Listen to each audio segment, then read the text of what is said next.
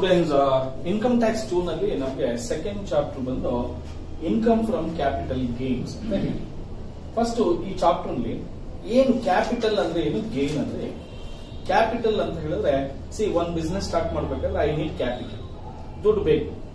ಯಾವುದೋ ಒಂದು ಸೋರ್ಸ್ ಇಂದ ನಾನು ಫೈನಾನ್ಸ್ ತಗೊಳ್ತೀನಿ. ತಗೊಂಡಿರೋ ಫೈನಾನ್ಸ್ ಏನ್ ಮಾಡ್ತೀನಿ? ಅಲ್ಲರಲ್ಲಿ ಇಟ್ಟು ಬಾಗ್ಲಾಗ್ತೀನ ಇಲ್ಲ. ಆ ದುಡ್ಡನ್ನೆಲ್ಲ ಏನ್ ಮಾಡ್ತೀನಿ? ಇನ್ವೆಸ್ಟ್ಮೆಂಟ್ ಮಾಡ್ತೀನಿ. ಯಾವ್ದ್ರ ಮೇಲೆ ಮಾಡ್ತೀನಿ? Land building plant machinery vehicles furnitures fixtures patents copyrights trademarks ಈ ತರದ ಅಸೆಟ್ಸ್ ಮೇಲೆ ಇನ್ವೆಸ್ಟ್ಮೆಂಟ್ ಮಾಡ್ತೀವಿ ಕರೆಕ್ಟ್ ಇಲ್ಲೋ ಆ ಅಸೆಟ್ಸ್ನ ಯೂಸ್ ಮಾಡಿದ್ಮೇಲೆ ಓಕೆನಾ ನಾವು ಬೇಡ ಅಂತ ಹೇಳಿದಾಗ ಅಸೆಟ್ನ ಮಾರ್ಬಿಡ್ಬೋದು. ಕರೆಕ್ಟ್ ಇಲ್ಲೋ ಸೇ ಅಂದ್ರೆ ನಮ್ಮ ಕ್ಯಾಪಿಟಲ್ನ, ನಮ್ಮ ಬಂಡವಾಳನ ಕಂಪ್ಲೀಟ್ ಆಗಿ ಏನ್ ಮಾಡಿರ್ತೀವಿ? ಇಂತ ಅಸೆಟ್ಸ್ ಮೇಲೆ ಇನ್ವೆಸ್ಟ್ಮೆಂಟ್ ಮಾಡಿರ್ತೀವಿ.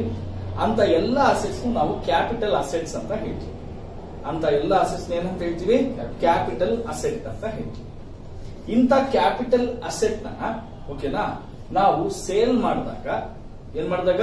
ಸೇಲ್ ಮಾಡಿದಾಗ ಬರುವಂತ ಪ್ರಾಫಿಟ್ಸ್ನ ನಾವು ಗೇನ್ಸ್ ಅಂತ ಹೇಳ್ತೀವಿ. ಗೇನ್ ಅಂತ ಹೇಳ್ತೀವಿ. ಸರ್ ಹಾಗಾದ್ರೆ what is the difference between income and gain see income ಅಂದ್ರೆ ರೆಗ್ಯುಲರ್ ಆಗಿ every day every month every year ಬರುವಂತ ಪ್ರಾಫಿಟ್ ಅನ್ನ ಇನ್ಕಮ್ ಅಂತ ಹೇಳ್ತೀವಿ. ಈ ತರ ಯಾವಾಗ್ಲೂ ಒಂದ್ಸಾರಿ ಅಸೆಟ್ನ ಸೇಲ್ ಮಾಡಿ ಬರೋ ಪ್ರಾಫಿಟ್ ಅನ್ನ ಗೇನ್ ಅಂತ ಹೇಳ್ತೀವಿ. ಎರಡು ಪ್ರಾಫಿಟ್ ಬಟ್ ಆ ಪ್ರಾಫಿಟ್ ಅಲ್ಲಿ ಒಂದು ಇನ್ಕಮ್ ಇನ್ನೊಂದು ಗೇನ್ ಒಂದು ರೆವಿನ್ಯೂ ಇನ್ಕಮ್ ಇನ್ನೊಂದು ಕ್ಯಾಪಿಟಲ್ ಇನ್ಕಮ್ ಅರ್ಥ ಆಗ್ತಿದ್ಯಾ?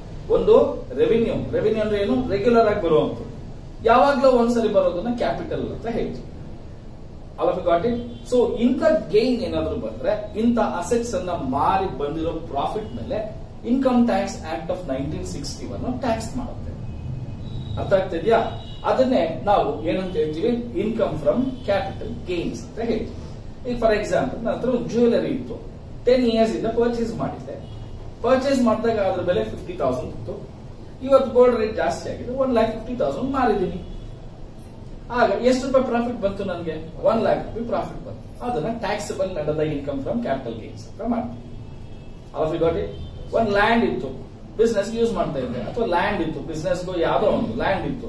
ಪರ್ಚೇಸ್ ಮಾಡಿದಾಗ ಅದ್ರ ಮೇಲೆ ಜಸ್ಟ್ ಟೆನ್ ಲ್ಯಾಕ್ಸ್ ಸೇಲ್ ಮಾಡಿದಾಗ ಒನ್ ಕ್ರೋರ್ ಅವಾಗ ನೈಂಟಿ ಲ್ಯಾಕ್ಸ್ ಮೇಲೆ ನಾನು ಪ್ರಾಫಿಟ್ ಗೇನ್ ಆಗಿದೆ ನನಗೆ ನೈಂಟಿ ಲ್ಯಾಕ್ಸ್ ಮೇಲೆ ಟ್ಯಾಕ್ಸ್ ಕಟ್ಟು ಅಂತ ಹೇಳುತ್ತೆ. ಅದನ್ನೇ ಕ್ಯಾಪಿಟಲ್ ಗೇನ್ ಅಂತ ಹೇಳ್ತೀವಿ ಆಲ್ ಗಾಟ್ ಇಟ್ ಸೊ ಹಾಗಾದ್ರೆ what is the meaning of capital gain ಅಂತ ಹೇಳಿದ್ರೆ any profits any profits from the sale of transfer of capital asset any gain or any profits earn from the sale of capital asset is called as a capital gain ಅರ್ಥ ಆಗ್ತಿದ್ಯಾ? ಯಾವುದೇ capital asset ಅನ್ನ ಮಾರಿ ಬಂದಿರೋ profit ಅನ್ನ ನಾವು gain ಅಂತ ಹೇಳ್ತೀವಿ. ಸಿಂಪಲ್ ಆಗಿದೆಯಾ ಇಲ್ವಾ? ಇದೆಯಾ ಇಲ್ವಾ? ಇದೆ ಸರ್. ಹಾಗಾದ್ರೆ ಕ್ಯಾಪಿಟಲ್ ಅಸೆಟ್ ಏನಿದು? ಕ್ಯಾಪಿಟಲ್ ಅಸೆಟ್ ಯಾವ ಯಾವ ಕ್ಯಾಪಿಟಲ್ ಅಸೆಟ್ಸ್ ಯಾವ ಯಾವ ಕ್ಯಾಪಿಟಲ್ ಅಸೆಟ್ ನೋಡಿ ಕ್ಯಾಪಿಟಲ್ ಅಸೆಟ್ ಅನ್ನಿಸ್ಕೊಳ್ಬೇಕು ಅಂದ್ರೆ ನಮ್ಮ ಹತ್ರ ಕೆಲವು ಇನ್ಕ್ಲೂಷನ್ಸ್ ಅಂಡ್ ಎಕ್ಸ್ಕ್ಲೂಷನ್ಸ್ ಅಂತ ಹೇಳ್ತೀವಿ. ಏನಂತ ಹೇಳ್ತೀವಿ? ಇನ್ಕ್ಲೂಷನ್ಸ್ ಎಕ್ಸ್ಕ್ಲೂಷನ್ಸ್ ಇನ್ಕ್ಲೂಷನ್ ಅಂದ್ರೆ ಏನು? ಯಾವ ಯಾವ ಅಸೆಟ್ ಅನ್ನ ಕ್ಯಾಪಿಟಲ್ ಅಸೆಟ್ ಅಂತ ಕರಿತೀವಿ. ಯಾವ ಯಾವ ಅಸೆಟ್ ಅನ್ನ ಕ್ಯಾಪಿಟಲ್ ಅಸೆಟ್ ಅಂತ ಕರಿತೀವಿ. ಯಾವ ಯಾವ್ದನ್ನ ಕ್ಯಾಪಿಟಲ್ ಅಸೆಟ್ ಅಂತ ಕರೆಯೋದಿಲ್ಲ. ಅಲ್ಲದೆ ಯಾವ್ದನ್ನ ಕ್ಯಾಪಿಟಲ್ ಅಸೆಟ್ ಅಂತ ಕರೆಯಲ್ಲ. ಅವು ಕ್ಯಾಪಿಟಲ್ ಅಸೆಟ್ ಅಲ್ಲ ಅಂದ್ರೆ ಅವು ಯಾವ ಕೂಡ ಈ ಹೆಡ್ಗೆ ಬರೋದಿಲ್ಲ. ಅರ್ಥ ಆಗ್ತಿದ್ಯಾ? ಹಾಗಾದ್ರೆ ಇನ್ಕ್ಲೂಷನ್ ಯಾವ್ಯಾವ ಬರುತ್ತೆ? ಮೂವಬಲ್ ಅಸೆಟ್ಸ್ ಇಮ್ಮೂವಬಲ್ ಅಸೆಟ್ಸ್ ಏನಿದು? ಮೂವಬಲ್ ಒಂದು ಪ್ಲೇಸ್ ಇಂದ ಇನ್ನೊಂದು ಪ್ಲೇಸ್ಗೆ ತಗೊಂಡೋಗುವ ಅಸೆಟ್ ಅನ್ನ ಮೂವಬಲ್ ಅಸೆಟ್ಸ್ ಅಂತ ಹೇಳ್ತೀವಿ. Furnitures fixtures vehicles plant machinery ಇವೆಲ್ಲ ಕೂಡ. ಪ್ಲಾಂಟ್ ಇಲ್ಲ ಮೆಷಿನರೀಸ್ ಇವೆಲ್ಲ ಒಂದ್ ಕಡೆಯಿಂದ ಇನ್ನೊಂದ್ ಕಡೆಗೆ ತಗೊಂಡು ಹೋಗುದು ಕರೆಕ್ಟ್ ಇಲ್ಲೋ ಇದನ್ನ ಮೂವಬಲ್ ಅಂತ ಹೇಳ್ತೀವಿ. ಇಮ್ಮೂವಬಲ್ ಅಂದ್ರೆ ಏನು? ಫಿಕ್ಸ್ಡ್ ಅಲ್ಲೇ ಇರ್ತವೆ. ಹೌದಾ? ಅಂತ ಯಾವ್ಯಾವ? ಲ್ಯಾಂಡ್ ಬಿಲ್ಡಿಂಗ್ ಇವೆಲ್ಲ ಕೂಡ ಬೇರೆ ಕಡೆಗೆ ಮೂವ್ ಮಾಡೋಕೆ ಆಗೋದಿಲ್ಲ. ಇಂಥವೆಲ್ಲ ಇಮ್ಮೂವಬಲ್ ಅಸೆಟ್ಸ್ ಅಂತ ಹೇಳ್ತೀವಿ.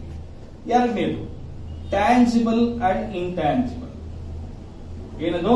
Tangible and intangible assets tangible assets ಅಂದ್ರೆ ಯಾವ ಅಸೆಟ್ನ ನೋಡಬಹುದು ಮುಟ್ಬಹುದು ಹೌದಾ? ಅಂತದೆಲ್ಲಾನು ಟ್ಯಾಂಜಿಬಲ್ ಅಸೆಟ್ ಆಗುತ್ತೆ. Land building plant machinery furniture fixtures motor vehicle ಎಲ್ಲ ಎಂತದ್ದು ಟ್ಯಾಂಜಿಬಲ್ ಇಂಟ್ಯಾಂಜಿಬಲ್ ಅಂದ್ರೆ ಯಾವುದು? Goodwill patents copyrights trademarks technical know technology software ಇವೆಲ್ಲ ಕೂಡ ಎಂತವು ಇಂಟ್ಯಾಂಜಿಬಲ್ ಅಸೆಟ್ಸ್ ಆಗುತ್ತೆ. All of you got it ಇವೆಲ್ಲ ಇನ್ಕ್ಲೂಷನ್ಸ್ ಇವು ಬಿಟ್ಟು ಓಕೆನಾ ಇವು ಬಿಟ್ಟು ಇನ್ನೂ ಒಂದಷ್ಟಿದೆ ಯಾವುದು? ಪ್ರಾಪರ್ಟೀಸ್ ಪ್ರಾಪರ್ಟಿ ಅಂದ್ರೆ ಏನು ಲ್ಯಾಂಡ್ ಬಿಲ್ಡಿಂಗ್ ಓಕೆನಾ ಇವೆಲ್ಲ ಕೂಡ ಇನ್ಕ್ಲೂಷನ್ಸ್ ನಾಲ್ಕನೇದು ಜ್ಯುವೆಲರಿ ಏನಿದು? ಇವೆಲ್ಲ ಕೂಡ ಇವೆಲ್ಲ ಕೂಡ ಮೂವಬಲ್ ಇಮೂವಬಲ್ ಟ್ಯಾಂಜಿಬಲ್ ಇಂಟ್ಯಾಂಜಿಬಲ್ ಅಲ್ಲೇ ಬರುತ್ತೆ. ಅರ್ಥ ಆಗ್ತಿದ್ಯಾ? ಇವೆಲ್ಲ ಕೂಡ ಯಾವ್ದ್ರಲ್ಲಿ ಬರುತ್ತೆ? ಇವೆರಡರಲ್ಲೇ ಬರ್ತಕ್ಕಂಥದ್ದು. So jewellery next agricultural land ಏನಿದು? ಅಗ್ರಿಕಲ್ಚರಲ್ ಲ್ಯಾಂಡ್ ಎಲ್ಲಿರ್ಬೇಕಂತೆ? ಅರ್ಬನ್ ಏರಿಯಾನಲ್ಲಿ ಇರಬೇಕು ಟೌನ್ ಲಿಮಿಟ್ಸ್ ಅಲ್ಲೋ ಅಥವಾ ಸಿಟಿ ಲಿಮಿಟ್ಸ್ ಅಲ್ಲೋ ಇರಬೇಕು. ಅಂತದನ್ನ ಅಗ್ರಿಕಲ್ಚರಲ್ ಲ್ಯಾಂಡ್ ಅರ್ಬನ್ ಏರಿಯಾನ ನಾವೇನಂತ ಹೇಳ್ತೀವಿ? ಮತ್ತೆ ಸೆಕ್ಯೂರಿಟೀಸ್ ಸೆಕ್ಯೂರಿಟೀಸ್ ಅಂದ್ರೆ ಏನು? ಶೇರ್ಸ್ ಡಿವೆಂಚರ್ಸ್ ಬಾಂಡ್ಸ್ ಇವೆಲ್ಲ ಕೂಡ ಆಗುತ್ತೆ. ಅರ್ಥ ಆಗ್ತಿದ್ಯಾ? ನೆಕ್ಸ್ಟ್ ಪ್ಲಾಂಟ್ ಮೆಷಿನರಿ ವೆಹಿಕಲ್ಸ್ ಇವೆಲ್ಲ ಎಂತದ್ದು ಬಿಸ್ನೆಸ್ ಬಿಸ್ನೆಸ್ ಯೂಸ್ ಮಾಡ್ತಾ ಇರ್ಬೇಕು ಇವೆಲ್ಲ ಕೂಡ. ಅಂತದಾದ್ರೆ ಏನಾಗುತ್ತೆ? ನಾವು ಕ್ಯಾಪಿಟಲ್ ಅಸೆಟ್ ಅಂತ ಹೇಳ್ತೀವಿ. ಆಲ್ ಇಷ್ಟು ಕೂಡ ಏನದು? ಕ್ಯಾಪಿಟಲ್ ಅಸೆಟ್ಸ್ ಹಾಗಾದ್ರೆ, ಸರ್ ಯಾವ್ದಾವ್ದು ಕ್ಯಾಪಿಟಲ್ ಅಸೆಟ್ ಅಲ್ಲ? ಯಾವ್ದಾವ್ದು ಕ್ಯಾಪಿಟಲ್ ಅಸೆಟ್ ಅಲ್ಲ ಅಂತ ಫಸ್ಟ್ ಅಗ್ರಿಕಲ್ಚರಲ್ ಲ್ಯಾಂಡ್ ಏನಿದು? ಅಗ್ರಿಕಲ್ಚರಲ್ ಲ್ಯಾಂಡ್ ಎಲ್ಲಿ, ಎಲ್ಲಿರುತ್ತೆ ಅದು? ರೂರಲ್ ಇದ್ರೆ ಅದು ಅಗ್ರಿಕಲ್ಚರ್ ಲ್ಯಾಂಡ್ ಅಲ್ಲ ಎರಡನೇದು ಅಪೇರೆನ್ಸ್ ಅಪೇರೆನ್ಸ್ ಅಂದ್ರೆ ಏನು? ನಾವು ಧರಿಸಿರ್ತಕ್ಕಂತಹ ವಸ್ತುಗಳು. ನಾವು ಧರಿಸಿರ್ತಕ್ಕಂತಹ ವಸ್ತುಗಳು. ಅಂದ್ರೆ, ನಾನು ಶರ್ಟ್ ಹಾಕೊಂಡಿದ್ದೀನಿ. ನಾನು ಶರ್ಟ್ನ ಮಾರಿದ್ರೆ ನೂರ ಐವತ್ತು ರೂಪಾಯಿ ಪರ್ಚೇಸ್ ಮಾಡಿದ್ರೆ ಇನ್ನೂರ ಐವತ್ತು ರೂಪಾಯಿ ಮಾರಿದ್ವಿ ನೂರು ರೂಪಾಯಿ ಪ್ರಾಫಿಟ್ ಹಾಕಕ್ಕಾಗುತ್ತಾ ಅದು? ಇಲ್ಲ. ಒಂದ್ಸರಿ ಪರ್ಚೇಸ್ ಮಾಡಿದ್ರೆ it's an expense that's all it's gone ಹೌದಾ ಇಲ್ವೋ? ನಾನು ವಾಚ್ ಮೂರುವರೆ ಸಾವಿರ ರೂಪಾಯಿ ತಗೊಂಡೆ. ನಾಲ್ಕೂವರೆ ಸಾವಿರ ರೂಪಾಯಿ ಪರ್ಚೇಸ್ ಮಾಡ್ತೀಯ ಕಸ್ತೂರಿ? ಇಲ್ಲ. ಯಾಕೆಂದ್ರೆ because I am use this ಹೌದಾ ಇಲ್ವೋ? ಸೊ ಇಂಥ ಅಪೇರೆಲ್ಸ್ ಎಲ್ಲ ಕೂಡ apparels means which we have or are for personal use ಅದೇ ತರ ವೆಹಿಕಲ್ಸ್ ಆರ್ ಅಸೆಟ್ಸ್ ಯೂಸ್ಡ್ ಈ ತರನೇ ಬರೆಯೋಣ. Vehicles furnitures used for personal. ಏನಂತ ಇದು? ಯೂಸ್ ಫಾರ್ ಪರ್ಸನಲ್ ಅದೇ ಬಿಸ್ನೆಸ್ ಯೂಸ್ ಮಾಡಿದ್ರೆ ಇನ್ಕ್ಲೂಡ್ಸ್ ಅದು ಕ್ಯಾಪಿಟಲ್ ಅಸೆಟ್ ಆಗುತ್ತೆ. ಅದೇ ವೆಹಿಕಲ್ಸ್ ಫರ್ನಿಚರ್ಸ್ ಪರ್ಸನಲ್ ಯೂಸ್ ಮಾಡಿದ್ರೆ ಅದು ಕ್ಯಾಪಿಟಲ್ ಅಸೆಟ್ ಆಗುತ್ತೆ. ಅರ್ಥ ಆಗ್ತಿದ್ಯಾ? ಈಗ ನನ್ನ ಹತ್ರ ಒಂದು ಕಾರ್ ಇದೆ. ನಾನು ಟ್ಯೂಷನ್ ಅಂತ ಯೂಸ್ ಮಾಡ್ತೇನಪ್ಪ ಅದನ್ನ ನಾನು ಸ್ವಂತಕ್ಕೆ ಅಂತ ಇಟ್ಕೊಂಡಿದ್ದೀನಿ ಒಂದ್ ಲಕ್ಷ ರೂಪಾಯಿ ತಗೊಂಡಿದ್ದೆ. ಎರಡು ಲಕ್ಷಕ್ಕೆ ಮಾರಿದೆ ಯಾರಿಗೋ ದೊಡ್ಡನ್ಗೆ? ಒಂದ್ ಲಕ್ಷ ರೂಪಾಯಿ ಪ್ರಾಫಿಟ್ನ ನನ್ನ ಕ್ಯಾಪಿಟಲ್ ಏನೆಲ್ಲ ಹಾಕಕ್ಕಾಗಲ್ಲ ಅರ್ಥ ಆಯ್ತಾ ಎಲ್ಲರಿಗೂ? ಅದೇ ವೆಹಿಕಲ್ನ ನಮ್ ಬಿಸ್ನೆಸ್ಗೆ ಅಂತ ಯೂಸ್ ಮಾಡ್ತಾ ಇದ್ದು ಒಂದ್ ಲಕ್ಷ ರೂಪಾಯಿ ಲಾಭ ಬಂದ್ರೆ ಕ್ಯಾಪಿಟಲ್ ಗೇನ್ಸ್ ಅಂತ ತೋರಿಸಬೇಕಾಗುತ್ತೆ. ಗಾಟ್ ಇಟ್ ಇಷ್ಟನ್ನ ನೀವು ಅರ್ಥ ಮಾಡ್ಕೊಟ್ರೆ ಬೇಕಾದಷ್ಟು ಆಯ್ತು ಓಕೆನಾ ಈಗ, ನಮ್ಗೆ ಎಷ್ಟು ತರ ಕ್ಯಾಪಿಟಲ್ ಗೇನ್ಸ್ ಇದೆ? ಎಷ್ಟು ತರ ಕ್ಯಾಪಿಟಲ್ ಗೇನ್ಸ್ ಇದೆ? ನಮ್ಮ ಹತ್ರ ಎರಡು ತರ ಕ್ಯಾಪಿಟಲ್ ಗೇನ್ಸ್ ಇದೆ. ಒಂದು ಶಾರ್ಟ್ ಟರ್ಮ್ ಕ್ಯಾಪಿಟಲ್ ಗೇನ್ಸ್ ಎರಡನೇದು ಲಾಂಗ್ ಟರ್ಮ್ ಕ್ಯಾಪಿಟಲ್ ಗೇನ್ಸ್ ಯಾವ್ದು ಶಾರ್ಟ್ ಟರ್ಮ್ ಒಂದು long term short term capital gain ಯಾವಾಗ ಬರುತ್ತೆ? ನೋಡಿ ಶಾರ್ಟ್ ಟರ್ಮ್ ಅಂತ ಅನ್ನಿಸ್ಕೊಳ್ಬೇಕು ಅಂದ್ರೆ ನಮಗೆ ಮೂರು ತರ ವ್ಯಾಲ್ಯೂಸ್ ಬರುತ್ತೆ ಅಸೆಟ್ಸ್ ಬರುತ್ತೆ. ಮೂರು ತರ ಕ್ಯಾಪಿಟಲ್ ಅಸೆಟ್ಸ್ ಬರುತ್ತೆ. ಒಂದು ಸೆಕ್ಯೂರಿಟೀಸು ಏನಿದು? ಸೆಕ್ಯೂರಿಟೀಸು ಎರಡನೇದು ಡಿಪ್ರಿಸಿಯೇಬಲ್ ಅಸೆಟ್ಸ್ ಏನಿದು? ಡಿಪ್ರಿಸಿಯೇಬಲ್ ಅಸೆಟ್ಸ್ ಮತ್ತೆ other assets sir securities depreciable assets other assets ಯಾವ್ಯಾವ್ದು ಬರುತ್ತೆ? ಸಿ ಇವನ್ನೆಲ್ಲ ಕೂಡ ನಾವು ಶಾರ್ಟ್ ಟರ್ಮ್ ಕ್ಯಾಪಿಟಲ್ ಅಸೆಟ್ ಅಂತ ಕರಿತೀವಿ. ಏನಂತ ಹೇಳ್ತೀವಿ? ಶಾರ್ಟ್ ಟರ್ಮ್ ಕ್ಯಾಪಿಟಲ್ ಅಸೆಟ್ ಯಾರಾದ್ರೂ ಕ್ವಶನ್ ಕೇಳಿದಾಗ what is short term capital gain ಅಂತ ಕೇಳಿದ್ರೆ. What is short term capital gain ಅಂದ್ರೆ any sale of short term capital assets any profits from sale of short term capital asset is called as short term capital gain ಅಂದ್ರೆ, ಯಾವ್ದಾದ್ರು short term capital ಅಸೆಟ್ನ ಮಾಲ್ ಬಂದಿರೋ ದುಡ್ಡನ್ನ ಪ್ರಾಫಿಟ್ನ ನಾವೇನಂತ ಹೇಳ್ತೀವಿ? Short term capital gain ಅಂತ ಹೇಳ್ತೀವಿ. ಹಾಗಾದ್ರೆ ಶಾರ್ಟ್ ಟರ್ಮ್ ಕ್ಯಾಪಿಟಲ್ ಅಸೆಟ್ ಆಗಬೇಕು ಅಂದ್ರೆ ಏನೇನ್ ಇರಬೇಕು? ಶಾರ್ಟ್ ಟರ್ಮ್ ಅಂದ್ರೆ ಪೀರಿಯಡ್ ಏನು? Short term term is nothing but period ಕರೆಕ್ಟಾ ಸೆಕ್ಯೂರಿಟೀಸ್ ಅಂದ್ರೆ ನೀವು ಪರ್ಚೇಸ್ ಮಾಡೋ ಡೇಟ್ ಇಂದ, ಇದು ಕೇಳಿಸ್ಕೊಳ್ಳಿ ಇಂಪಾರ್ಟೆಂಟ್ ಪರ್ಚೇಸ್ ಮಾಡೋ ಡೇಟ್ ಇಂದ ಸೇಲ್ ಮಾಡೋ ಡೇಟ್ ಒಂದು ವರ್ಷದ ಒಳಗಡೆ ಆಗಿದೆ. ಓಕೆನಾ ಅಂದ್ರೆ less than or equals to one year ಆಗಿದೆ. Less than or equals to one year ಆಗಿದೆ. ಅದೇ ಡಿಪ್ರಿಸಿಬಲ್ ಆದ್ರೆ ಆಲ್ವೇಸ್ ಯಾವಾಗ್ಲೂ ಅಷ್ಟೇ ಪ್ಲಾಂಟ್ ಮೆಷಿನರಿ ವೆಹಿಕಲ್ಸ್ ಓಕೆನಾ ಫರ್ನಿಚರ್ಸ್ ಫಿಕ್ಸ್ಚರ್ಸ್ ಯಾವಾಗ್ಲೂ ಅದೆಂತದ್ದು ಶಾರ್ಟ್ ಟರ್ಮ್ ಕ್ಯಾಪಿಟಲ್ ಅಸೆಟ್ ಅದು ಯಾವಾಗ್ಲೂ ಏನದು? ಶಾರ್ಟ್ ಟರ್ಮ್ ಕ್ಯಾಪಿಟಲ್ ಅಸೆಟ್ ಅದು ಅದ್ ಯಾವತ್ತೂ ಕೂಡ ಏನಾಗಕ್ಕಾಗಲ್ಲ? ಲಾಂಗ್ ಟರ್ಮ್ ಆಗೋದಕ್ಕೆ ಸಾಧ್ಯನೇ ಇಲ್ಲ. ಅರ್ಥ ಆಗ್ತಾ ಇದೆಯಾ? ಯಾಕೆ? ಯಾಕೆ ಹೇಳಿ ನೋಡೋಣ. ನಾನು ಹೇಳ ನಾನು ಹೇಳ್ತೀನಿ. ಸೇ ಮಷಿನರಿ ಐದು ವರ್ಷದಿಂದ ಒಂದ್ ಲಕ್ಷ ಪರ್ಚೇಸ್ ಮಾಡಿದ್ನಪ್ಪ ಓಕೆನಾ ಇವತ್ತು ಮಾರ್ತಾ ಇದ್ವಿ ಪರ್ಚೇಸ್ ಮಾಡೋ ಡೇಟ್ ಇಂದ ಇವತ್ತವರೆಗೂ ಅದ್ರದ್ದೊಂದು ನಲವತ್ತು ಸಾವಿರ ರೂಪಾಯಿ ಡಿಪ್ರಿಸಿಯೇಷನ್ ಆಗಿದೆ. ಇನ್ ಎಷ್ಟಿರುತ್ತಪ್ಪ? ಇದನ್ನೇನಂತ ಹೇಳ್ತೀವಪ್ಪ? ರಿಟರ್ನ್ ಡೌನ್ ವ್ಯಾಲ್ಯೂ ಅಂತ ಹೇಳ್ತೀವಿ. ಅಲ್ಲ ಇವತ್ತಿನ ಬೆಲೆ. ಇವತ್ತಿನ ಬೆಲೆ ಅಂದ್ರೆ ಏನು? One four two thousand twenty ಕರೆಕ್ಟಾ one four two thousand twenty ಅಂದ್ರೆ ಈ ವರ್ಷದ ಬಿಗಿನಿಂಗ್ ಅಲ್ಲಿ ಬೆಲೆ ಎಷ್ಟಿತ್ತು? ಅರವತ್ ಸಾವಿರ ಇತ್ತು. ಯಾವಾಗ ಮಾಡ್ತಾ ಇದ್ದೀನಿ? Before thirty first March two thousand twenty one ಅಂದ್ರೆ ನಾನು ಮಾಡ್ತಾ ಇರೋದು ನಮ್ಮ ಪ್ರೀವಿಯಸ್ ಇಯರ್ ಅಲ್ಲೇ. ಒಂದು ವರ್ಷದ ಒಳಗಡೆನೆ. ಇದ್ರದ್ದು ಯಾವಾಗ ತಗೊಂಡಿರೋದ್ ಬೆಲೆ? ಈ ವರ್ಷದ ಬಿಗಿನಿಂಗ್ ಅಲ್ಲಿ ತಗೊಂಡ್ರು. ಈ ವರ್ಷದ ಒಳಗಡೆನೆ ಮಾಡಿದ್ರೆ ಲೆಸ್ ದನ್ ಒನ್ ಇಯರ್ ತಾನೆ ಅದು? ಎಸ್ ಆರ್ ನೋ ಸೊ ಹಾಗಾದ್ರೆ ಸಪೋಸ್ ನಾನು ಎಪ್ಪತ್ ಸಾವಿರ ರೂಪಾಯಿ ಮಾರ್ದೆ ಅಂತ ಇಟ್ಕೊಳ್ಳಿ. ಇನ್ನು ಹತ್ತು ಸಾವಿರ ರೂಪಾಯಿ ಪ್ರಾಫಿಟ್ ಏನಾಗುತ್ತೆ? ಶಾರ್ಟ್ ಟರ್ಮ್ ಕ್ಯಾಪಿಟಲ್ ಗೇನ್ ಆಗುತ್ತೆ. ಅರ್ಥ ಆಯ್ತಾ ಇಲ್ವಾ ನಿಮ್ಗೆ? ಆಯ್ತಾ ಇಲ್ವಾ? ಆಯ್ತಾ ಇಲ್ವಾ? ಆಯ್ತು. ಅದಕ್ಕೆ ಯಾವಾಗ್ಲೂ ಅಷ್ಟೇ ಡಿಪ್ರಿಸಿಯಬಲ್ ಅಸೆಟ್ಸ್ ಯಾವಾಗ್ಲೂ ಏನೋ ಶಾರ್ಟ್ ಟರ್ಮ್ ಕ್ಯಾಪಿಟಲ್ ಗೇನ್ ಅಲ್ಲೇ ಬರುತ್ತೆ ಕ್ಯಾಪಿಟಲ್ ಅಸೆಟ್ ಆಗುತ್ತೆ. ಇನ್ನ ಅದರ್ ಅಸೆಟ್ಸ್ ಅಂದ್ರೆ ಇಲ್ಲಿ ಸೆಕ್ಯೂರಿಟೀಸ್ ಬಿಟ್ಟು plant machinery furniture fixture vehicle ಬಿಟ್ಟು ಉಳಿದಂತೆ ಯಾವ್ಯಾವು? ಲ್ಯಾಂಡ್ ಬಿಲ್ಡಿಂಗ್ ಹೌದಾ? ಜುವೆಲರಿ ಪ್ರಾಪರ್ಟೀಸ್ ಬೇರೆ ಪ್ರಾಪರ್ಟೀಸ್ ಇಂಥವೆಲ್ಲ ಕೂಡ ಏನಾಗುತ್ತೆ? ಅದರ್ ಅಸೆಟ್ಸ್ ಆಗುತ್ತೆ.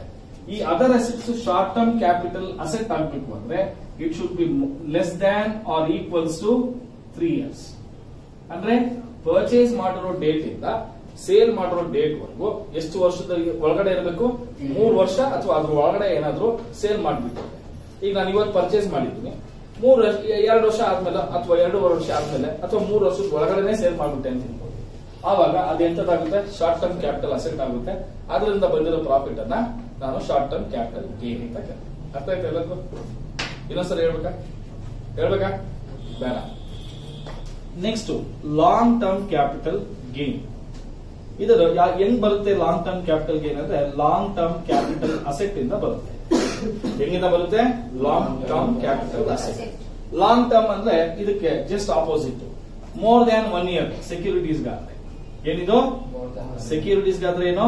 ಮೋರ್ ದ್ಯಾನ್ ಒನ್ ಇಯರ್ ಆಗಿರ್ಬೇಕು ಅದೇ ಅದರ್ ಅಸೆಟ್ಸ್ ಗಾದ್ರೆ ಮೋರ್ ದ್ಯಾನ್ ತ್ರೀ ಇಯರ್ಸ್ ಆಗಿತ್ತು ಅಂದ್ರೆ ಪರ್ಚೇಸ್ ಮಾಡಿರೋ ಡೇಟ್ ಇಂದ ಸೇಲ್ ಮಾಡೋ ಡೇಟ್ ಓಕೆನಾ ಅದ್ರ period ಎಷ್ಟಿರ್ಬೇಕು less than one year more than one year ಇದ್ರೆ ಅದನ್ನ ಲಾಂಗ್ ಟರ್ಮ್ ಅಂತ ಕರಿತೀವಿ. More than three years other assets ಆದ್ರೆ ಲಾಂಗ್ ಟರ್ಮ್ ಅಂತ ಕರಿತೀವಿ. ಯಾವುದೇ ಕಾರಣಕ್ಕೂ ಡಿಪ್ರಿಸಿಯಬಲ್ ಅಸೆಟ್ಸ್ನ ನಾವು ಲಾಂಗ್ ಟರ್ಮ್ ಅಂತ ಕರೀತೀವಿ. ಅರ್ಥ ಆಗ್ತಿದ್ಯಾ? Depreciable assets is always short term ಅರ್ಥ ಆಯ್ತು ಎಲ್ಲರಿಗೂ? ಈಗ ಒಂದು ಎಕ್ಸಾಂಪಲ್ ಹೇಳ್ತೀನಿ. ನೀವೇ ಹೇಳಿ. ನಾನು ಒಂದ್ ಸಾವಿರ ಶೇರ್ಸ್ನ ಪರ್ಚೇಸ್ ಮಾಡಿದ್ದೀನಿ. ವಿಪ್ರೋ ಕಂಪನಿ ಶೇರ್ಸ್ನ ಪರ್ಚೇಸ್ ಮಾಡಿದ್ದೀನಿ. ಪರ್ಚೇಸ್ ಮಾಡಿರೋ date first of April two thousand nineteen ಅಲ್ಲಿ ಪರ್ಚೇಸ್ ಮಾಡಿದ್ದೀನಿ. ಸೇಲ್ ಮಾಡಿರೋದು thirty first of March two thousand twenty one ಅಲ್ಲಿ ಮಾಡಿದ್ದೀನಿ more than one year less than one more than one one four nineteen twenty twenty twenty one two years more than one year ಆಗುತ್ತೆ ಅವಾಗ ಏನಾಗುತ್ತೆ ಅದು? Long term suppose if I sold it exactly at two thousand twenty ಆವಾಗ exactly one year ಆಗುತ್ತೆ ಈ first one year ಆಗಿದೆ. Short term ಆಗುತ್ತೆ. All of understood ಈಗ ಒಂದು ಲ್ಯಾಂಡ್ ಪರ್ಚೇಸ್ ಮಾಡಿದೆ. ಟೆನ್ ಲ್ಯಾಕ್ಸ್ಗೆ ಒಂದು ಲ್ಯಾಂಡ್ ಪರ್ಚೇಸ್ ಮಾಡಿ. ಪರ್ಚೇಸ್ ಮಾಡಿರೋದು first of April two thousand ten ಓಕೆನಾ ಸೇಲ್ ಮಾಡಿರೋದು thirty first of December two thousand twenty twenty long term long term short term long term ಹೆಂಗ್ ಗೊತ್ತಾಯ್ತು? ಟೆನ್ ಇಂದ ಟ್ವೆಂಟಿ ಅಂದ್ರೆ ಟೆನ್ ಇಯರ್ಸ್ ಆಯ್ತು. ಇಲ್ಲಿ ಮೋರ್ ದನ್ ತ್ರೀ ಇಯರ್ಸ್ ಇದ್ರೆ ಅದೇನಾಗುತ್ತೆ? ಲಾಂಗ್ ಟರ್ಮ್ ಅರ್ಥ ಆಯ್ತಾ? ಎಸ್ ಆರ್ ನೋ ಪಕ್ಕ ಅರ್ಥ ಆಯ್ತಾ? ಯಾವ್ದಾದ್ರು ಶಾರ್ಟ್ ಟರ್ಮ್ ಯಾವ್ದಾದ್ರು ಲಾಂಗ್ ಟರ್ಮ್ ಗೊತ್ತಾಯ್ತು. ಈಗ let's go with one more small thing sir ಹೆಂಗ್ ಕ್ಯಾಲ್ಕುಲೇಟ್ ಮಾಡೋದು? ಶಾರ್ಟ್ ಟರ್ಮ್ ಕ್ಯಾಪಿಟಲ್ ಗೇನ್ನ ಹೆಂಗ್ ಕ್ಯಾಲ್ಕುಲೇಟ್ ಮಾಡೋದು? ಲಾಂಗ್ ಟರ್ಮ್ ಕ್ಯಾಪಿಟಲ್ ಗೇನ್ ಹೆಂಗ್ ಕ್ಯಾಲ್ಕುಲೇಟ್ ಮಾಡೋದು. ಪ್ರೊಫಾರ್ಮಾ ತೋರಿಸಬೇಕು. ಕರೆಕ್ಟಾ ಪ್ರೊಫಾರ್ಮಾ ತೋರಿಸೋಣ. Computation of short term capital gain ಏನಿದು? ಶಾರ್ಟ್ ಟರ್ಮ್ ಕ್ಯಾಪಿಟಲ್ ಗೇನ್ ಇದಕ್ಕೆ ಸೇಮ್ ಅಸಸಿ ಲೋ ಓಕೆನಾ ಅಸಸಿ ಮೇಮೋ ಅವನ ರೆಸಿಡೆನ್ಷಿಯಲ್ ಸ್ಟೇಟಸ್ ಅಸೆಸ್ಮೆಂಟ್ ಇಯರ್ ಯಾವಾಗಲೂ twenty one twenty two previous year is twenty twenty one ಕರೆಕ್ಟಾ ಹಿಂಗಾಗೋಣ ಕ್ಲಿಯರ್ ಏನಪ್ಪ? ಈಗ ಫಸ್ಟ್ ಇದರಲ್ಲಿ sale of short term capital asset ಯಾವ್ದಾದ್ರೂ ಆಗಿರ್ಬೋದು. ಯಾವ್ದಾದ್ರೂ ಆಗಿರ್ಬೋದು. ಸೆಕ್ಯೂರಿಟೀಸ್ ಆಗಿರ್ಬೋದು ಲ್ಯಾಂಡ್ ಲ್ಯಾಂಡ್ ಯಾವ್ದಾದ್ರು ಶಾರ್ಟ್ ಟರ್ಮ್ ಗೊತ್ತಾಯ್ತಲ್ಲ ಶಾರ್ಟ್ ಟರ್ಮ್ ಅಂದ್ರೆ ಏನಂತ ಗೊತ್ತಾಯ್ತು? ಅದನ್ನ ಮಾರಿದ್ವಿ ಮಾರ್ಬೇಕಾದ್ರೆ ಏನಾದ್ರೂ ಎಕ್ಸ್ಪೆನ್ಸಸ್ ಆಗಿದೆಯಲ್ಲ ಅದನ್ನ ಎಕ್ಸ್ಪೆನ್ಸಸ್ ಆಫ್ ಸೆಲ್ಲಿಂಗ್ ಅಂತ ಹೇಳ್ತೀವಿ ಅಥವಾ ಸೆಲ್ಲಿಂಗ್ ಎಕ್ಸ್ಪೆನ್ಸಸ್ ಬ್ರೋಕರೇಜ್ ಕಮಿಷನ್ ಏನಾದ್ರೂ ಕೊಟ್ಟಿದ್ಯಾ ಇದನ್ನ ಏನಂತ ಕರಿತೀವಿ? ನೆಕ್ಸ್ಟ್ ಸೇಲ್ ಪ್ರೈಸ್ ಅಂತ ಹೇಳ್ತೀವಿ. ಕ್ಲಿಯರಾ ಇದರಲ್ಲಿ ಕಾಸ್ಟ್ ಆಫ್ ಅಕ್ವಿಸಿಷನ್ ಅಂತ ಕರಿತೀವಿ. ಏನಂತ ಕರಿತೀವಿ? ಇದನ್ನು ಮೈನಸ್ ಮಾಡಿ. ಎಷ್ಟು ಪರ್ಚೇಸ್ ಮಾಡಿದ್ವಿ. ಒಂದ್ ವರ್ಷದ ಒಳಗಡೆ ಅಥವಾ ಮೂರು ವರ್ಷದ ಒಳಗಡೆ. ಹೌದಾ? ಸೆಕ್ಯೂರಿಟೀಸ್ಗಾದ್ರೆ ಒಂದು ವರ್ಷದ ಒಳಗಡೆ, ಬೇರೆ ಆಸೆಟ್ಸ್ಗಾದ್ರೆ ಮೂರು ವರ್ಷದ ಒಳಗಡೆ. ಎಷ್ಟಕ್ಕೆ ಪರ್ಚೇಸ್ ಮಾಡಿ? ಅದನ್ನ ಎಷ್ಟಕ್ಕೆ ಸೇಲ್ ಮಾಡಿ? ಫಸ್ಟ್ ಎಷ್ಟಕ್ಕೆ ಸೇಲ್ ಮಾಡಿದ್ವಿ? ಅದ್ರಲ್ಲಿ ಏನ್ ಮೈನಸ್ ಮಾಡ್ತಾ ಇದ್ವಿ? ಎಷ್ಟಕ್ಕೆ ಪರ್ಚೇಸ್ ಮಾಡಿ? ಹೌದಾ? ಬರೋದನ್ನ ಏನಂತ ಹೇಳ್ತೀನಿ? ಶಾರ್ಟ್ ಟರ್ಮ್ ಕ್ಯಾಪಿಟಲ್ ಗೇನ್ ಅಂತ ಹೇಳ್ತೀನಿ. ಇಷ್ಟೇ. ಅರ್ಥ ಆಯ್ತಾ short term very simple jewellery purchase ಮಾಡಿದ್ವಿ. ಪರ್ಚೇಸ್ ಮಾಡಿದ್ದು ಎರಡ್ ಸಾವಿರದ ಇಪ್ಪತ್ತರಲ್ಲಿ ಪರ್ಚೇಸ್ ಮಾಡಿದೆ. ಯಾವತ್ತು? ಫಸ್ಟ್ ಆಫ್ ಜನವರಿ ಎರಡ್ ಸಾವಿರದ ಇಪ್ಪತ್ತರಲ್ಲಿ ಪರ್ಚೇಸ್ ಮಾಡಿದೆ. ನಾನು first of July twenty twenty one ಅಲ್ಲಿ ಸೇಲ್ ಮಾಡಿದ್ವಿ ಶಾರ್ಟ್ ಟರ್ಮ್ ತಾನೇ ಇದು sale of jewellery within one three years actually three years ಒಳಗಡೆ ಸೇಲ್ ಮಾಡಿದ್ವಿ ಪರ್ಚೇಸ್ ಮಾಡಿದಾಗ ಐವತ್ತು ಸಾವಿರ ರೂಪಾಯಿ ಪರ್ಚೇಸ್ ಮಾಡಿದೆ. ಸೇಲ್ ಮಾಡಬೇಕಾದ್ರೆ ಎಂಬತ್ತು ಸಾವಿರ ರೂಪಾಯಿ ಮಾಡಿ ಈಗ ಸೇಲ್ ಪ್ರೈಸ್ ಎಷ್ಟು? ಏಯ್ಟಿ ತೌಸಂಡ್ ನಾನು ಸೇಲ್ ಮಾಡ್ಬೇಕಾದ್ರೆ ಯಾವನ ಬ್ರೋಕರ್ ಮುಖಾಂತರ ಹೋದೆ. ಅವನ್ಗೆ ಒಂದು ಐನೂರು ರೂಪಾಯಿ ಕೊಟ್ಟಿದ್ದೀನಿ. ಅವಾಗ ಎಂಟು ಎಂಬ ಏಯ್ಟಿ ತೌಸಂಡ್ ಅಲ್ಲಿ ಐನೂರು ರೂಪಾಯಿ ಮೈನಸ್ ಮಾಡಿದ್ರೆ seventy nine thousand five hundred minus cost of acquisition ಎಷ್ಟು ಪರ್ಚೇಸ್ ಮಾಡಿದ ರೇಟ್ ಎಷ್ಟು? ಐವತ್ತು ಸಾವಿರ. ಇನ್ನು ಮಿಕ್ಕಿದ ಇಪ್ಪತ್ತೊಂಬತ್ತು ಸಾವಿರದ ಐನೂರು ರೂಪಾಯಿ. Long term short term capital as gain ಅರ್ಥ ಆಯ್ತಾ ಈಗ? ಆಯ್ತಾ ಇಲ್ಲ? Tarun next computation of long term capital gain ಇದಕ್ಕೂ ಸೇಮು ಅಸಸಿ ನೇಮು, ಓಕೆನಾ? Residential status assessment year is two thousand twenty one twenty two previous year is two thousand twenty twenty one ಕರೆಕ್ಟಾ ಈಗ ಇದರಲ್ಲೇ ತುಂಬಾ ವ್ಯಾಲ್ಯೂ ಇರ್ತಕ್ಕಂಥದ್ದು ಕಲಿಬೇಕಾಗಿರೋದು, ಇರೋದು, ಮತ್ತೆ ಇದೇ ಜಾಸ್ತಿ ಬರೋದು ಫಸ್ಟ್ ಇದರಲ್ಲಿ sale of long term capital asset ಯಾವ ಅಸೆಟ್ ಲಾಂಗ್ ಟರ್ಮ್ ಮಾರಿದ್ವಿ ಓಕೆನಾ ಅದನ್ನ ತಗೊಳ್ತೀವಿ ಇದರಲ್ಲಿ ಸೆಲ್ಲಿಂಗ್ ಎಕ್ಸ್ಪೆನ್ಸಸ್ ಮೈನಸ್ ಮಾಡಿ. ಓಕೆನಾ ಬ್ರೋಕರೇಜ್ ಕಮಿಷನ್ ಏನೋ ಕೊಟ್ಟಿರ್ತೀವಿ. ಬರೋದನ್ನ ಅಂತ ಹೇಳೋಣ? ನೆಟ್ ಸೇಲ್ ಪ್ರೈಸ್ ಓಕೆನಾ ಇದರಲ್ಲಿ ಫಸ್ಟ್ ಏನ್ ಮೈನಸ್ ಮಾಡ್ತೀವಿ? ಓಕೆನಾ this is very very important ಇದಕ್ಕೆ ಇಂಡೆಕ್ಸ್ಡ್ ಕಾಸ್ಟ್ ಆಫ್ ಅಕ್ವಿಸಿಷನ್ ಏನಿದು indexed cost of acquisition acquisition ಅಂದ್ರೆ purchase index cost of purchase ಅಂತ ನಾವು ಹೇಳ್ತೀವಿ. ಅಂದ್ರೆ ಎಷ್ಟು ಪರ್ಚೇಸ್ ಮಾಡಿದ್ವಿ, ಯಾವಾಗ ಪರ್ಚೇಸ್ ಮಾಡ್ತೀವಿ ಅದ್ರದ್ದು ಇಂಡೆಕ್ಸ್ ಏನು ಅಂತ ಹೇಳಿ. ಎರಡನೇ point index cost of improvement ಏನಿದು? Index cost of improvement purchase ಮಾಡಿರೋ ಅಸೆಟ್ ಏನಾದ್ರೂ ಇಂಪ್ರೂವ್ಮೆಂಟ್ ಮಾಡಿದೀವಾ. ಏನಾದ್ರೂ ಡೆವಲಪ್ ಮಾಡಿದೀವ? ಅದರದ್ದು ಇಂಡೆಕ್ಸ್ ಎಷ್ಟಾಗಿದೆ? ಪರ್ಚೇಸ್ ಮಾಡೋ ಡೇಟ್ ಇಂದ ಐ ಮೀನ್ ಇಂಪ್ರೂವ್ಮೆಂಟ್ ಮಾಡಿರೋ ಡೇಟ್ ಇಂದ ಎಷ್ಟಾಗಿದೆ? ಎಷ್ಟು ಖರ್ಚು ಮಾಡಿದ್ವಿ? ಈಗ ಒಂದು ಬಿಲ್ಡಿಂಗ್ ಪರ್ಚೇಸ್ ಮಾಡಿದ್ದೆ. ಒಂದ್ ಎರಡು ವರ್ಷ ಆದ್ಮೇಲೆ ಗ್ರೌಂಡ್ ಫ್ಲೋರ್ ಪರ್ಚೇಸ್ ಮಾಡಿದ್ದೆ. ಫಸ್ಟ್ ಫ್ಲೋರ್ ಕಟ್ಟಿಸ್ಕೊಂಡಿದ್ದೀನಿ. ಒಂದ್ ಎರಡು ವರ್ಷ ಆದ್ಮೇಲೆ. ಅದಕ್ಕೆ ಎಕ್ಸ್ಪೆನ್ಸಸ್ ಆಗಿರುತ್ತೆ ತಾನೆ. ಅದನ್ನು, ಅದ್ರ ಬೆಲೆನೂ ಸೇರಿಸಿ ತಾನೇ ನಾನು ಮಾರಿರ್ತೀನಿ. ಸೊ ಹಾಗಾದ್ರೆ ಎಷ್ಟಕ್ಕೆ ಮಾರಿದ್ದೀನಿ ಬಿಲ್ಡಿಂಗ್ ಅನ್ನ? ನನಗೆ ಗ್ರೌಂಡ್ ಫ್ಲೋರ್ ಕಟ್ಟಕ್ಕೆ ಎಷ್ಟು ಖರ್ಚಾಗಿತ್ತು? ಫಸ್ಟ್ ಫ್ಲೋರ್ ಕಟ್ಟಕ್ಕೆ ಎಷ್ಟ್- ಎಷ್ಟಾಗಿತ್ತು ಅದನ್ನೇ index cost of acquisition index cost of improvement ಈಗ ನಿಮ್ಗೆ ಹೇಳ್ಬೇಕಾಗಿರೋದು ವೆರಿ ಇಂಪಾರ್ಟೆಂಟ್ ಇವೆರಡನ್ನು ಮೈನಸ್ ಮಾಡಿದ್ರೆ ಬರೋದನ್ನೇ ಲಾಂಗ್ ಟರ್ಮ್ ಕ್ಯಾಪಿಟಲ್ ಗೇನ್ ಅಂತ ಕರೀತೀವಿ. ಅರ್ಥ ಆಯ್ತಾ? ಎಸ್ ಆರ್ ನೋ ಎರಡು ಪ್ರಫಾರ್ಮ ತೋರಿಸಿ. ನೀಟಾಗಿ. ಈಗ ಇಂಡೆಕ್ಸ್ ಅಂದ್ರೆ ಏನು? ಅದೇ ಇಂಪಾರ್ಟೆಂಟ್ ಈ ಕ್ವಶನ್ ಇದೆಲ್ಲ ಈ ಚಾಪ್ಟರ್ ಎಲ್ಲ ಇರೋದೇ ಇಂಡೆಕ್ಸ್ ಇಂಡೆಕ್ಸ್ ಅಂದ್ರೆ ಏನು? ಒಂದು ಎಕ್ಸಾಂಪಲ್ ಮುಖಾಂತರ ಓಕೆನಾ ನಮ್ ಕಸ್ತೂರಿ ಎಕ್ಸಾಂಪಲ್ ತಗೋಣ. ಕಸ್ತೂರಿ ಅವರ ಅಜ್ಜಿ ಏನ್ ಮಾಡಿದ್ರೆ ಒಂದು ಟೆನ್ ಎಕರ್ಸ್ ಲ್ಯಾಂಡ್ ತಗೊಂಡಿದ್ದಾರೆ. ಎಷ್ಟು? ಹತ್ತು ಎಕರೆ ಲ್ಯಾಂಡ್ ತಗೊಂಡಿದ್ದಾರೆ. ಅವ್ರು ತಗೊಳ್ಬೇಕಾದ್ರೆ ಒಂದ್ ಸಾವಿರ ರೂಪಾಯಿ ತಗೊಂಡಿದ್ದಾರೆ ಒಟ್ಟು ಹತ್ತು ಎಕರೆಗೆ ಎಷ್ಟು ಕೊಟ್ಟಿದ್ರು? ಹತ್ತು ಸಾವಿರ ರೂಪಾಯಿ ಕೊಟ್ಟಿದ್ರು ಆ ಲ್ಯಾಂಡ್ ಕಸ್ತೂರಿ ಅವ್ರ ಮದರಕ್ಕೆ ಬಂತು. ಓಕೆನಾ? ಪರ್ಚೇಸ್ ಮಾಡಿದಾಗ ಯಾವತ್ತು ನೈನ್ಟೀನ್ ಫಿಫ್ಟಿ ಸಿಕ್ಸ್ಟೀನ್ ಏನೋ ಪರ್ಚೇಸ್ ಮಾಡಿದ್ರು. ಅವ್ರ ಗ್ರ್ಯಾಂಡ್ ಮದರ್ ಆ ಒಂದು ಲ್ಯಾಂಡ್ ನೈನ್ಟೀನ್ ನೈನ್ಟೀನ್ ಅಲ್ಲಿ ಓಕೆನಾ ಕಸ್ತೂರಿ ಮದರಕ್ಕೆ ಬಂತು. ಓಕೆನಾ, ಆಮೇಲಿಂದ ಟೂ ತೌಸಂಡ್ ಫೋರ್ ಅಲ್ಲಿ ಕಸ್ತೂರಿ ಅವ್ರ ಮದರ್ ಕಸ್ತೂರಿ ಟ್ರಾನ್ಸ್ಫರ್ ಮಾಡಿದ್ರು. ಅರ್ಥ ಆಗ್ತಿದ್ಯಾ? ಕಸ್ತೂರಿ ಅವ್ರ ಮದರು ಕಸ್ತೂರಿಗೆ ಟ್ರಾನ್ಸ್ಫರ್ ಮಾಡ ಈ ಹುಡುಗಿ ಏನ್ ಮಾಡಿದ್ರು ಅಂದ್ರೆ ಟೂ ತೌಸಂಡ್ ಟ್ವೆಂಟಿ ಒನ್ನಲ್ಲಿ thirty first March twenty one ನಮ್ ಪ್ರೀವಿಯಸ್ ಇಯರ್ ಎಂಡಿಂಗ್ ಈ ಡೇಟ್ ಅಲ್ಲಿ ಓಕೆನಾ ಈ ಲ್ಯಾಂಡ್ ಅನ್ನ ಹತ್ತು ಲಕ್ಷ ರೂಪಾಯಿ ಮಾಡ್ಬಿಟ್ಟು ಇದೆಷ್ಟು ಬರುತ್ತೆ? ಹತ್ತು ಸಾವಿರ ಬರ್ತದೆ. ಕರೆಕ್ಟಾ ಎಷ್ಟಕ್ಕೆ ಮಾಡಿದ್ರು ಹತ್ತು ಲಕ್ಷಕ್ಕೆ ಮಾರ್ಬಿಟ್ರು ನೋಡಿ, ಹತ್ತು ಸಾವಿರ ರೂಪಾಯಿ ಅವ್ರ ಅಜ್ಜಿ ಪರ್ಚೇಸ್ ಮಾಡಿದಾಗ ಅದರ ಪ್ರೈಸ್ ಈ ಹುಡುಗಿ ಮಾರಿದ್ದು ಹತ್ತು ಎಷ್ಟಕ್ಕೆ?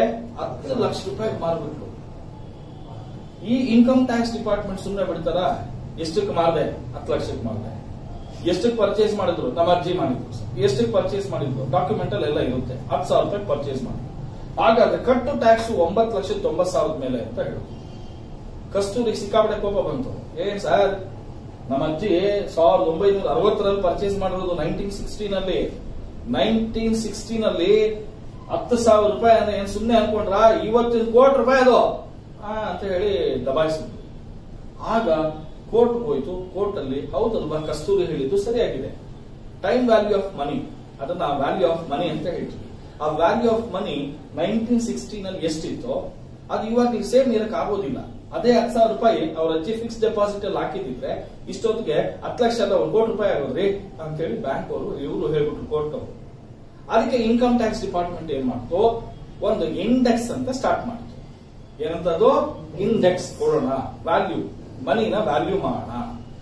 ಅದು ಯಾವ ತರ ವ್ಯಾಲ್ಯೂ ಮಾಡೋದು ಅಂದ್ರೆ ಇನ್ಫ್ಲೇಷನ್ ಯಾವ ತರ ಆಗಿದೆ. ಇನ್ಫ್ಲೇಷನ್ ಅಂದ್ರೆ ಏನು? Goods of prices of goods and services ಯಾವ ತರ ಇನ್ಕ್ರೀಸ್ ಆಗಿದೆ. ಆ ಬೇಸಿಸ್ ಮೇಲೆ ಏನಂತೆ? ಆ ಬೇಸಿಸ್ ಮೇಲೆ ನಾವು ರೂಪಿ ವ್ಯಾಲ್ಯೂನ ಮಾಡೋಣ ಅಂತ ಹೇಳಿ. ಅದು ಎಲ್ಲಿಂದ ಸ್ಟಾರ್ಟ್ ಆಯ್ತು ಗೊತ್ತಾ? Two thousand one two thousand two ಇಂದ ಸ್ಟಾರ್ಟ್ ಆಯ್ತು. ಎಲ್ಲಿಂದ ಸ್ಟಾರ್ಟ್ ಆಯ್ತು? ಟೂ ತೌಸಂಡ್ ಒನ್ ಟೂ ಇಂದ ಸ್ಟಾರ್ಟ್ ಆಯ್ತು. ಇನ್ಕಮ್ ಟ್ಯಾಕ್ಸ್ ಡಿಪಾರ್ಟ್ಮೆಂಟ್ ಅವರು ಟೂ ತೌಸಂಡ್ ಒನ್ ಟೂ ನ ನೂರು ರೂಪಾಯಿ ವ್ಯಾಲ್ಯೂನ ನೂರು ರೂಪಾಯಿ ಅಂತ ಅಸ್ಲು ಅಂತ ಇಟ್ರು ಫೇಸ್ ವ್ಯಾಲ್ಯೂ ಅಂತ ಇಟ್ರು. ಪ್ರತಿ ವರ್ಷ ಏನಾಗ್ತಾ ಇದೆ ರುಪಿ ವ್ಯಾಲ್ಯೂ ಜಾಸ್ತಿ ಆಗ್ತಾ ಇದೆ. ಹೌದಾ ಇಲ್ಲ so two thousand one two two three ನಲ್ಲಿ ನೂರು ರೂಪಾಯಿ ಇರ್ತಕ್ಕಂಥದ್ದು ನೂರ ಐದಾಯ್ತು ನೂರ ಒಂಬತ್ತಾಯ್ತು ಈ ತರ ಆಗ್ತಾ ಆಗ್ತಾ ಆಗ್ತಾ ಆಗ್ತಾ ಆಗ್ತಾ ಟೂ ತೌಸಂಡ್ ಟ್ವೆಂಟಿ ಟ್ವೆಂಟಿ ಒನ್ಗೆ ಮುನ್ನೂರ ಒಂದು ರೂಪಾಯಿ ಆಯ್ತು. ಇದು ನಿಜ ಹೇಳ್ತಾ ಇರೋದು ಓಕೆನಾ? ಅಲ್ಲಿಗೆ ಎರಡ್ ಸಾವಿರದ ಒಂದು, ಎರಡರಲ್ಲಿ ಅದ್ರ ಬೆಲೆ ಎಷ್ಟಿತ್ತು? ನೂರು ರೂಪಾಯಿ ಇತ್ತು. ಸಪೋಸ್ ನೂರು ರೂಪಾಯಿ ಕೊಟ್ಟು ಲ್ಯಾಂಡ್ ತಗೊಂಡಿದ್ರೆ, ಆ ಲ್ಯಾಂಡ್ ನೂರು ರೂಪಾಯಿ ಬೆಲೆ ಎರಡ್ ಸಾವಿರದ ಒಂದು, ಎರಡರಲ್ಲಿ ಇರ್ತಕ್ಕಂಥ ನೂರು ರೂಪಾಯಿ ಲ್ಯಾಂಡ್ ವ್ಯಾಲ್ಯೂ ನಿಮ್ಗೆ ಎಷ್ಟಾಗುತ್ತೆ? ಮುನ್ನೂರ ಒಂದು ರೂಪಾಯಿ ಆಗುತ್ತೆ. ಇದು as per the income tax rules ಅರ್ಥ ಆಗ್ತಿದ್ಯಾ? ಈ ರೂಲ್ಸ್ ಪ್ರಕಾರ ಎಷ್ಟಾಗುತ್ತೆ? ಸರ್, ನಾವು ಪರ್ಚೇಸ್ ಮಾಡಿರೋದು ನೈನ್ಟೀನ್ ಸಿಕ್ಸ್ಟೀನ್ ಅಲ್ಲಿ. ಇಂಡೆಕ್ಸ್ ಸ್ಟಾರ್ಟ್ ಆಗಿರೋದೇ ಒಂದು, ಎರಡರಲ್ಲಿ. ಏನ್ ಮಾಡೋದು ಸರ್ ಅಂದ್ರೆ, ನಮ್ಗೆ ಗೊತ್ತಿಲ್ಲದೆ ಇರೋದ್ರಿಂದ ಓಕೆನಾ ನಮ್ಗೆ ಎರಡ್ ಸಾವಿರದ ಒಂದು, ಎರಡರಲ್ಲಿ ಎಸಿದ್ಯಪ್ಪ ನೂರು ರೂಪಾಯಿ ಇದೆ ಅಲ್ವಾ? ನೂರು ರೂಪಾಯಿ ಇರ್ತಕ್ಕಂಥದ್ದು ಹತ್ತು ಸಾವಿರನ ನೂರಕ್ಕೆ ಅಂತ ಅನ್ಕೊಂಡ್ರೆ, ನೋಡಿ, ಹತ್ತು ಸಾವಿರ ರೂಪಾಯಿ, ಎರಡ್ ಸಾವಿರದ ಒಂದು, ಎರಡರಲ್ಲಿ ನೂರು ರೂಪಾಯಿ ಇತ್ತು. ಈಗ ಎಷ್ಟಾಗಿದೆ? ಮುನ್ನೂರ ಒಂದು ರೂಪಾಯಿ ಆಗಿದೆ. ಅಲ್ಲಿಗೆ ಎಷ್ಟಾಗುತ್ತೆ? ಮೂವತ್ತು ಸಾವಿರದ ನೂರು ರೂಪಾಯಿ ಆಗುತ್ತೆ. ಎಷ್ಟಾಗುತ್ತೆ? ಮೂವತ್ತು ಸಾವಿರದ ನೂರು ರೂಪಾಯಿ. ಹಾಗಾದ್ರೆ ಹತ್ತು ಲಕ್ಷದಲ್ಲಿ ಮೂವತ್ತು ಸಾವಿರದ ನೂರು ರೂಪಾಯಿ ಮೈನಸ್ ಮಾಡಿ ಉಳಿದಿರೋ ಅಮೌಂಟ್ ಮೇಲೆ ಟ್ಯಾಕ್ಸ್ ಕಟ್ಟೋದು ಅರ್ಥ ಆಯ್ತು ಎಲ್ಲರಿಗೂ? Yes or no this is what we call as index cost of acquisition ಈ ಹುಡುಗಿ ಏನ್ ಮಾಡಿದ್ರು ಎರಡ್ ಸಾವಿರದ ನಾಲ್ಕರಲ್ಲಿ ಹುಡುಗಿ ಬಂತು, ಅವ್ರ ಮದರ್ ಇಂದ. ಅಲ್ಲಿ ಎಲ್ಲೂ ಫೆನ್ಸಿಂಗ್ ಹಾಕಿರ್ಲಿಲ್ಲ. ಓಕೆನಾ? ಈ ಹುಡುಗಿ ಏನ್ ಮಾಡಿದ್ಲು? ಎರಡ್ ಸಾವಿರದ ಐದು, ಆರರಲ್ಲಿ ಫೆನ್ಸಿಂಗ್ ಹಾಕ್ಸಿದ್ಲು, ಹತ್ತು ಎಕರೆಗೂ ಫೆನ್ಸಿಂಗ್ ಹಾಕ್ದಾಗ ಅವ್ರಿಗೆ ಲಕ್ಷ ರೂಪಾಯಿ ಖರ್ಚಾಗ್ಬಿಡ್ತು ಅದು ಇಂಪ್ರೂವ್ ಮಾಡಿದಾಳೆ ತಾನೆ? ಇಂಪ್ರೂವ್ ಮಾಡಿದ್ದಾರೆ ಲಕ್ಷ ರೂಪಾಯಿ ಖರ್ಚಾಗಿದೆ ಓಕೆನಾ? ಎರಡ್ ಸಾವಿರದ ನಾಲ್ಕು, ಐದು ಅಥವಾ ಐದು, ಆರರಲ್ಲಿ ಎಷ್ಟೋ ಒಂದು ಇಂಡೆಕ್ಸ್ ಇತ್ತು ಅಂತ ಕೊಡಿ ಸೇ ಫಾರ್ ಎಕ್ಸಾಂಪಲ್ ನೂರ ಹದಿನೈದೇನೋ ಇತ್ತು ಅಂತ ಅನ್ಕೋಣ. ಈಗ ಕರೆಕ್ಟ್ ಅಲ್ಲ. ನೂರ ಹದಿನೈದು ಇತ್ತು ಅಂತ ಇಟ್ಕೋಣ ಇವಾಗ ಅದ್ರ ಬೆಲೆ ಎಷ್ಟು? ಮುನ್ನೂರ ಒಂದಕ್ಕೆ ಎಷ್ಟಾಗುತ್ತೆ ಹೌದಾ? ಆಗ ಹೆಚ್ಚು ಕಡಿಮೆ ಎಷ್ಟು ಬರುತ್ತಮ್ಮ? ಎರಡು ಲಕ್ಷದ ಅರವತ್ತು. ಸಾವಿರ ರೂಪಾಯಿ. ಇಲ್ಲಿ ಒಂದು ಮೂವತ್ ಸಾವಿರದ ನೂರು ರೂಪಾಯಿ ಬಂತು ಇದು ಎರಡು ಲಕ್ಷದ ಚಿಲ್ಲರೆ ಬಂತು. ಓಕೆನಾ? ಅಲ್ಲಿಗೆ ಟೋಟಲ್ ಎಷ್ಟಾಯ್ತು? ಎರಡು ಲಕ್ಷದ ಮೂವತ್ ಸಾವಿರದ ಚಿಲ್ಲರೆ ಆಯ್ತು. ಅಲ್ಲಿಗೆ ಹತ್ತು ಲಕ್ಷದಲ್ಲಿ ಎರಡು ಲಕ್ಷದ ಮೂವತ್ತು. ಇನ್ನು ಮಿಕ್ಕಿದ್ದು ಏಳು ಲಕ್ಷದ ಎಪ್ಪತ್ತು ಸಾವಿರ ರೂಪಾಯಿ ಟ್ಯಾಕ್ಸ್ ಕಟ್ಬೋದು. ಅರ್ಥ ಆಯ್ತಾ? ಏನಕ್ಕೆ ಇಂಡೆಕ್ಸ್ ಮಾಡೋದು ಅಂತ ಗೊತ್ತಾಯ್ತಲ್ವಾ? ಅದು ಎಲ್ಲಿಂದ ಸ್ಟಾರ್ಟ್ ಆಗಿರೋದು ಗೊತ್ತಾಯ್ತಾ? ಎಲ್ಲಿಂದ ಸ್ಟಾರ್ಟ್ ಆಗಿರೋದು? ಒಂದು ಎರಡು. ಒಂದು ಎರಡು. ಇಪ್ಪತ್ತು ಇಪ್ಪತ್ತೊಂದು ಕೆಸ್ ಇದೆ ಮುನ್ನೂರ? ಸರ್ ಇದೆಲ್ಲ ನಾವು ನಾಪ ಇಟ್ಕೊಳ್ಬೇಕಂದ್ರೆ ದೇವರೊಳಗೆ ನಾಪ ಇಟ್ಕೊಳ್ಬೇಕು. ಕ್ವಶನ್ ಅಲ್ಲಿ ಅವನೇ ಕೊಟ್ಟಿರ್ತಾನೆ. ಅರ್ಥ ಆಯ್ತಾ? ಯಾವತ್ ಪರ್ಚೇಸ್ ಮಾಡಿದ್ದ ಯಾವತ್ ಇಂಪ್ರೂವ್ಮೆಂಟ್ ಮಾಡಿದ್ದ ಕ್ವಶನ್ ಅಲ್ಲೇ ಕೊಟ್ಟಿರ್ತಾನೆ. ಕ್ಲಿಯರ್ ಇಷ್ಟು introduction for income from capital gains ಏನಾದ್ರು ಡೌಟ್ ಇದ್ರೆ ಕೇಳಿ.